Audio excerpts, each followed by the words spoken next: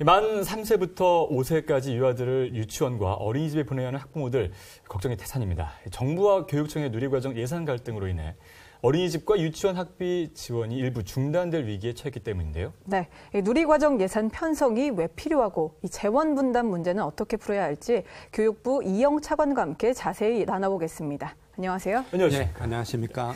자, 차관님, 최근 이제 누리과정 편성과 관련해 논란이 일고 있습니다. 이 누리과정 사실 잘 모르시는 분들도 있으신데요. 이게 어떤 과정이고 또 왜 꼭 필요한 건지 말씀해 주시죠. 어, 만 3에서 5세 어린이들에 대한 교육 보육 과정을 우리가 지금 누리 과정이라고 부르고 네. 있습니다. 그래서 어, 지금 여전히 그 교육 보육기관은 분절돼 있습니다. 그러니까 네네. 어린이집과 유치원 이게 두 개로 분절돼 있었고 2012년에 만 5세에 대한 누리과정을 도입하기 전까지는 실제로 교육 보육 과정 자체도 분절돼 있었습니다. 네. 그래서 이거를 아 이제 정부가 조금 더 책임을 지겠다. 그리고 요 3세에서 5세의 교육이라는 게 굉장히 중요합니다. 예. 그러니까 그때 어떤 사회성이라는 거를 배우는 시기고 그때 그렇죠. 얼마나 잘 교육을 받았는가가 평생에 있어서 어떤 삶의 질이나 소득에 굉장히 큰 영향을 미친다라는 네. 것이 잘 알려진 사실입니다. 그래서 어떤 의미에서는 어, 공평한 출발선을 보장하자라는 취지에서 이렇게 분절돼 있는 기관이지만 그래도 교육 보육 과정만은 좀 통합하자 이런 논의가 있었고 그 부분이 결실을 맺어서 2012년부터 만 5세 그 이후에 3세, 4세 이렇게 확대해 왔습니다. 그래서 예. 그것을 우리가 누리 과정이라고 부릅니다. 예. 네. 그렇다면 예산안 처리가 왜 반드시 필요한지에 대해서 간단히 말씀해 주시죠. 네. 이 누리 과정이라는 것을 이렇게 통합하면서 실제로 이제 통합해야 되는 것이 굉장히 여러 단계가 필요합니다. 네네. 제일 먼저는 누가 재원을 부담할 것인가에 대한 통합이 필요하고요. 그 다음에 누가 어떤 기관을 지도 감독할 것이냐.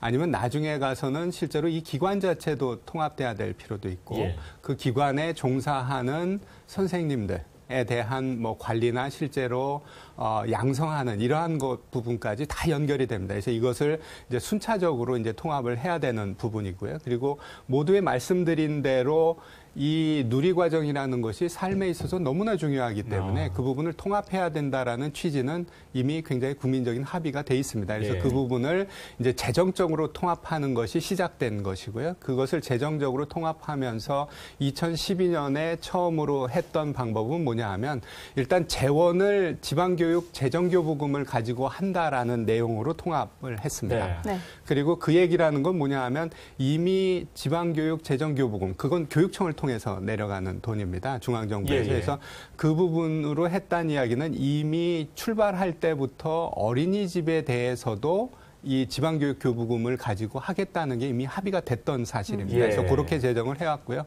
다만 재정적으로 문제가 된 부분은 뭐냐 하면 12, 13, 14까지는 그래도 계획대로 잘 차근히 왔습니다. 근데 2015년에 와서는 아, 실제로 어, 그 우리나라 지방교육 재정 교부금이 어떻게 정해지냐 하면 내국세의 20.27%로 딱 정해져 있습니다. 예. 근데 이게 어떠냐면 세수가 좀 좋지 못했습니다. 아. 2015년 쪽에 오면서 그래서 그 부분으로 해서 재원에 대한 논쟁이 있었고요. 그 재원에 대한 논쟁이 또 이제 그 교육감님들이 또 2014년에 이제 새로운 선거를 통해서 바뀌시고 그러면서 문제 제기를 하시면서 네. 그래서 2015년에 좀 어려웠고요. 그렇지만 2015년도 어, 이제 추경을 하면서 이 부분을 다 재정을 다 감당을 했습니다. 예. 그러면서 이제 2016년에 대해서 지금 논쟁이 벌어지고 있습니다. 네. 네. 네. 지금 정부와 일부 교육감 사이에서 이 네. 누리과정 예산 편성을 놓고 좀 다른 의견을 보이고 있는 네, 거 네. 아닙니까? 예, 그러면 이 누리과정을 처음 도입할 때는 이 교육감들의 입장이 어땠었나요?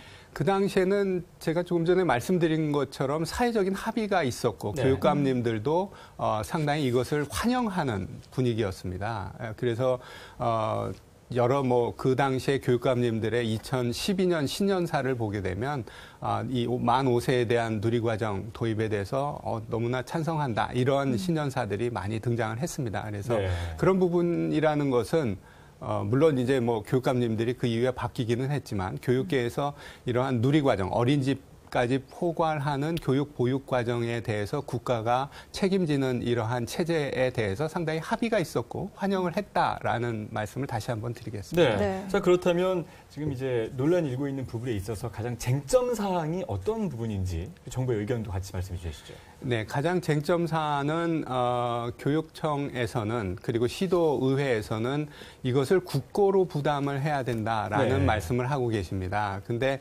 지금 그 동안에 이제 2012년부터 도입되면서 지금까지 이렇게 온 것을 보면 2012년에는 아, 지방교육 재정교부금으로 전체를 다 했고요. 예. 이후에 확대하면서 일부 국고가 좀 들어갔었습니다. 그렇지만 그 전체적인 계획을 세울 때 아, 지방교육 재정교부금 쪽에서 이것을 온전히 감당하는 모습으로 계획을 세웠습니다. 그래서 예. 순차적으로 대상을 확대하면서 지방교육 재정교부금이 이 누리과정 쪽에 투입되는 것이 4천억, 5천억씩 이렇게 연도별로 순차적으로 증가하도록 이렇게 계획을 세웠거든요. 예.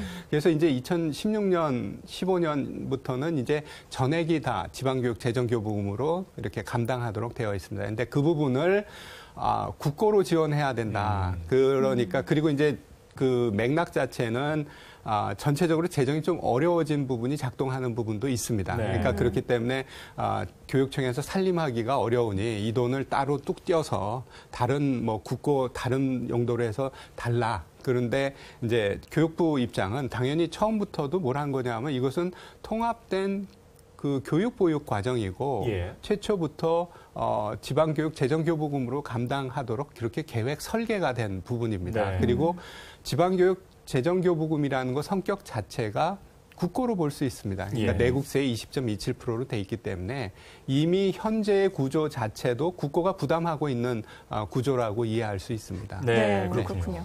지금 누리과정 예산의 이 재원을 이 국고로 부담을 하느냐, 이 지방 네. 교부금으로 부담을 하느냐 이 네. 부분이 네. 최대 쟁점이라고 말씀을 음. 하셨는데 네. 그러면 이 재원 분담에 있어서 어떤 부분을 문제로 지금 갈등을 빚고 있는 건지 이 부분이 궁금하고요. 네. 또 그렇다면 지금 그 동안은 이 재원 분담 어떻게 이루어졌는지도 좀 궁금합니다. 네, 네, 네.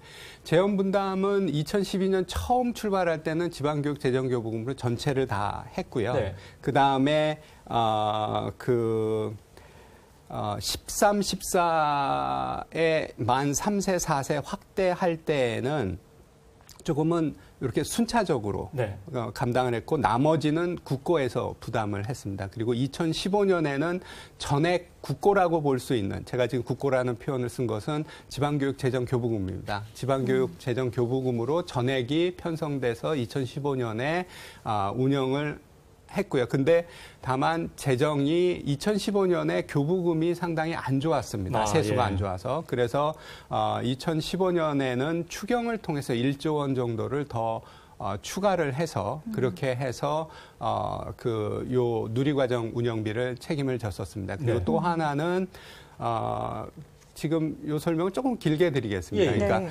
어, 지방교육재정이라는 것은 지금까지 계속 언급을 드렸던 지방교육 재정교부금이 지금 2016년도 예산으로 보면 한 41조 정도 되고요. 네. 그거에 어, 시도에서도 이 돈이 옵니다. 전입금이라는 예. 형태로. 그러니까 중앙정부에서 오고 시도에서 오고 그다음에 또 하나 중앙정부와의 협의를 통해서 받는 것이 지방채 부분이 있습니다. 네. 그리고 자체 수입이 일부 있습니다. 왜냐하면 고등학교 이렇게 등록금 받지 않습니까? 그렇죠. 그래서 그런 예, 예. 자체 수입인데 그건 크지 않습니다. 그래서 음. 어, 크게 보면 어, 지방교육 재정교부금이 한 70% 정도 차지하고요. 네. 시도에서 오는 것이 한 20% 조금 안 됩니다. 음. 그리고 나머지가 이제 지방채 부분으로 이렇게 되어 있고요. 2015년의 경우에는 요 중앙에서 내려가는 부분이 조금 예상보다 작았습니다. 한 네. 1.5조 정도 작아지면서 이게 전체적으로 이 그러니까 전체 규모는 60조 원 정도 됩니다. 아. 그러니까 요거를 살림하는데 교육청이 살림할 때 좀 어렵다. 이게 좀 줄어들었으니 예. 어렵다. 그래서 그거를 이제 메우기 위해서 뭘 했냐 하면 지방채가 아, 발행이 됐습니다. 네네. 그래서 6.1조 정도 발행이 돼서 그렇게 해서 어, 이 구조가 이렇게 왔다라고 생각하시면 됩니다. 그렇군요. 네. 네. 그렇다면 올해의 경우에는 네. 이제 그 지방 교육재정 교부금에 누리과정 예산이 전액 포함된 부분인 겁니까? 어떻게 되는 네, 그렇습니다. 그러니까 예. 어, 어떻게 하냐면 어, 우리가 지방교육 재정교부금을 이렇게 산정해서 교육청으로 내려보낼 예, 예. 때 당연히 이것을 객관적으로 산정해서 계산해야 그렇죠. 되지 예, 예. 않습니까? 예, 그러면 거기에 우리가 다 이 유아 교육비 부분을 계산을 해서 내려보내는 겁니다. 네. 그래서 아 이제 시도별로 어, 3에서 5세 그 어린이 숫자가 몇 명이고 그러니 이만큼 해서 이만큼의 경비가 드니 이것을 계산을 해서 정확하게 계산을 해서 그것을 41조를 내려보낼 때그 예. 그 안에 포함을 해서 내려보낸 겁니다. 그래서 그 산정을 해서 내려보냈고요. 음. 그게 실제로 그 41조 중에 누리과정 몫으로 편성돼 있는 것이 4조 아, 정도 아, 됩니다. 아, 네. 그러니까 전체 지방교육 재정교부금의 10% 정도가 누리과정에 대한 예산이고요. 그래서 그 금액이 아, 유치원에 대해서 1.9조, 예. 그 다음에 어린이집, 지금 이제 가장 논란이 되고 있는 부분이 어린이집인데 거기가 2.1조입니다. 그래서 네.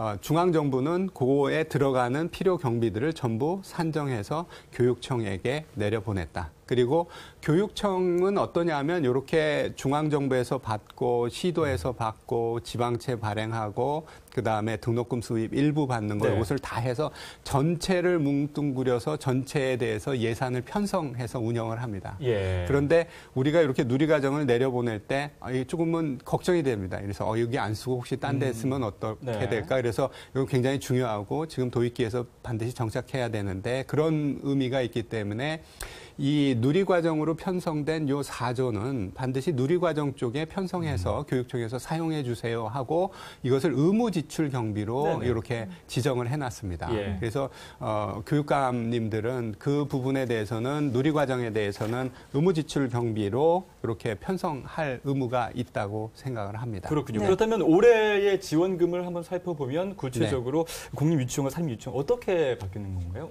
어린이집 같은 경우는?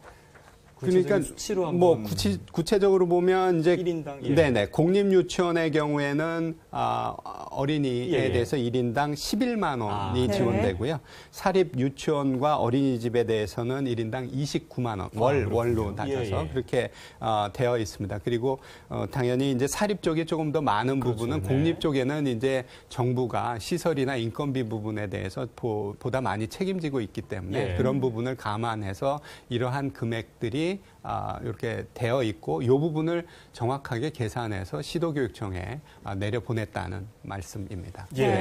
네. 조금 전에 말씀하신 대로 이 누리과정 예산이 교부금에 다 포함이 된 건데요. 네. 네. 예, 그럼에도 불구하고 이제 이제 재정 여건이 어렵다는 이유로 사실 이 편성이 어렵다 이렇게 입장을 내놓는 교육청이 있지 않습니까? 네, 네. 이 부분에 대해서는 어떻게 보시나요? 그러니까 그 2015년도에는 상당히 어려웠던 것이 사실입니다. 네. 네. 근데 2016년의 경우에는 어, 내국세 부분이 어, 일정 정도 좀 회복을 했고요. 어, 예. 네. 그리고 어, 시도에서 오는 전입금 부분도 회복이 일정 정도 됐습니다. 그러니까 음. 어, 내국세를 아까 설명드린 대로 20.27%로 되어 있는 지방교육 재정교부금이 네. 어, 2015년에 비해서 2010 6년의 경우에는 1.8조가 증가했습니다. 음. 그러니까, 그러니까 네. 이만큼을 더 많이 내려 예, 예. 보내는 네. 겁니다. 그래서 그만큼 더 많이 내려 보냈고 그 다음에 시도에서 오는 부분도 어. 그 일정 정도 늘어났고 저희가 계산하기로는 한 지금 시도에서 예산으로 잡은 한 10 조 천억 정도 됩니다. 네. 지금 현재. 그거보다 더 많을 것이다. 한 11조 7천 정도가 음. 시도에서 교육청으로 갈 것이다. 이렇게 전망이 되고 있습니다. 그 이유는 뭐냐 하면 어, 부동산 경기가 예. 어, 생각보다는 좋았습니다. 최근에. 그래서 그 부분에서 세금을 거둔 것이 어, 법정으로 정해져서 그 시도에서 교육청으로 가게 돼 있습니다. 그래서 그 네. 그 부분도 있고요. 담배세 물론 이제 원망도 많이 있습니다만 네. 아, 담배세 부분에서도 일정 정도가 요 교육청으로 가게 돼 있습니다. 그래서 그런 부분들을 전부 감안하면 어, 지금 시도에서 전출 보내겠다라고 한 음. 것보다는 1.6조 정도 더 많이 갈 것이다 이렇게 네. 예상이 되고 전망이 되고 있고요.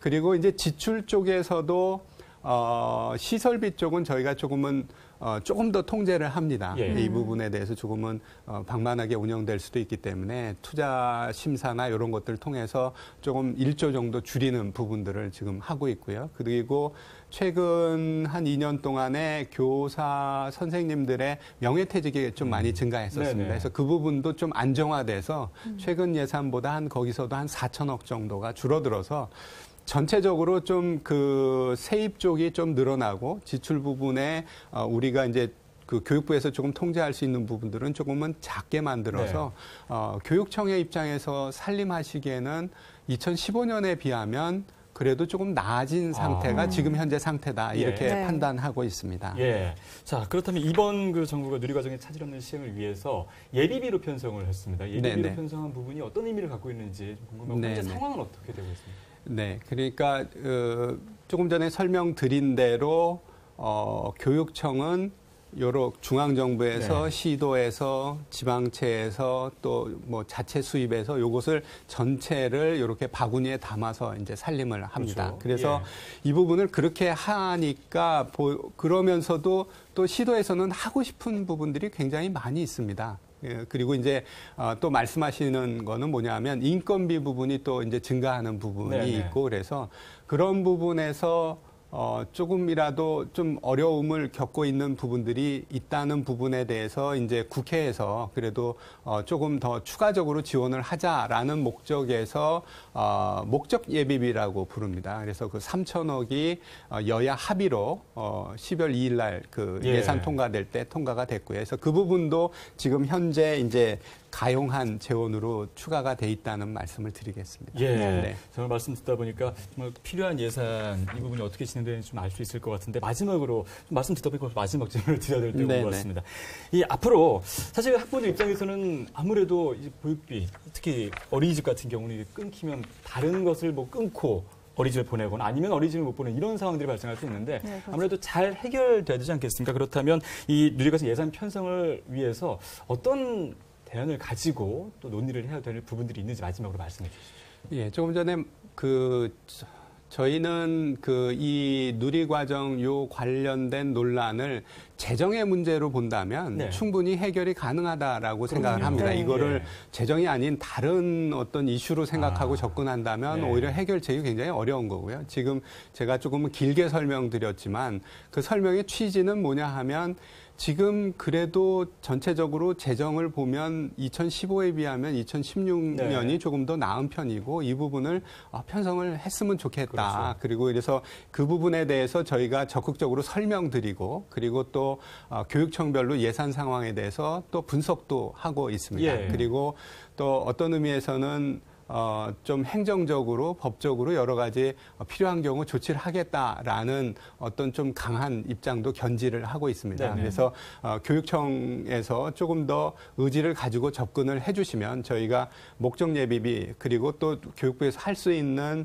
재원에 있어서의 뭐 추가 부분이나 좀더 음. 확실성을 높이는 부분에 대해서 저희도 같이 노력을 하면서 또 예. 교육부도 또 절감해야 되는 부분은 절감하면서 그렇게 협의를 해나갈 거고요. 그리고 어, 다만 조금 더 걱정되는 부분은 시도의회에서 또 이렇게 음. 맡고 있는 부분이 있습니다. 그렇죠. 그래서 그 부분은 실제로는 너무 정치적으로 가지 않았으면 그게 어, 저희 교육부의 입장입니다. 네. 그래서 해결을 하려면 실제로는 이것을 재정의 문제로 보고 재정에 대해서 우리가 머리를 맞대고 앉아서 해결책을 모색하면 충분히 어, 해결이 가능한 문제다 이렇게 생각하고 있습니다. 예, 네, 잘 알겠습니다. 네, 지금까지 교육부 이영 차관과 함께 얘기 나눴습니다. 오늘 말씀 고맙습니다. 네, 감사합니다. 감사합니다.